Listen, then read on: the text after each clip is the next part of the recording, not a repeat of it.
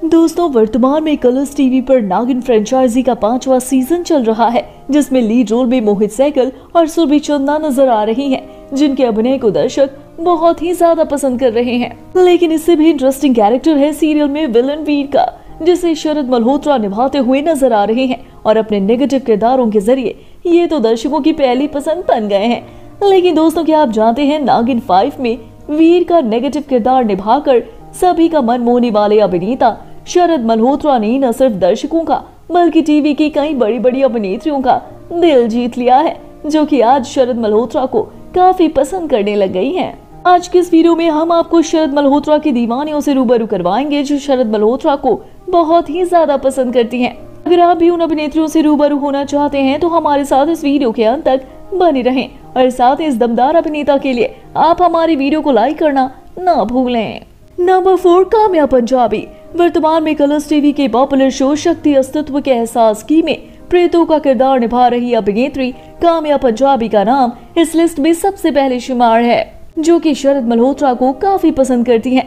दरअसल दोनों ने सीरियल बरू में तेरी दुल्हन में काम किया था, जहाँ सेट पर एक साथ काम करने के दौरान दोनों एक दूसरे के काफ़ी अच्छे दोस्त बन गए थे। तभी से दोनों की इतनी अच्छी दोस्ती है कि दोनों को एक दूसरे के साथ मस्ती करते हुए देखा जाता है। Number three, Surbhi Chanda Star Plus के पॉपुलर शो इश्कबाज से फ़ेमस हुई अभिनेत्री सुरभि चंदा वर्तमान में नागिन फाइव में बानी का किरदार निभाती हुई नज़र आ रही हैं, जहाँ इनके ऑपोजिट विलन के किरदार में शरद मल्होत्रा नज़र आ रहे हैं। भले ही शो में सुरभि चंदा शरद मल्होत्रा से नफरत करती हैं, लेकिन रियल लाइफ में ये भी इन्हें काफ़ी पसंद करती हैं। दरअसल इस शो के ज़रिए ही ये दोनों काफ़ी अच्छे दोस्त बन बैठे हैं। तभी तो सेट पर दोनों के बीच काफ़ी मस्ती चलती है, जहाँ शरद मल्होत्रा और सुरभि चौधना एक दूसरे की टांग खिंचाई करते हुए नज़र आते हैं। Number two Kritika Sengar TV industry की क्यूट सी अदाकारा कृतिका सेंगर भी इन्हीं अभिनेत्रियों में से एक है, जो शरद मल्होत्रा की दीवानी है। दीवानी का मतलब ये नहीं कि माशूका बल्कि ये तो इन्हें बहुत ज़्यादा पसंद करती हैं।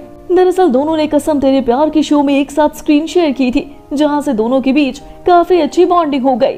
जहाँ कृतिका सेंगर काफ़ी शांत स्वभाव की हैं, तो वहीं शरद मल्होत्रा काफ़ी नॉटी नेचर के हैं।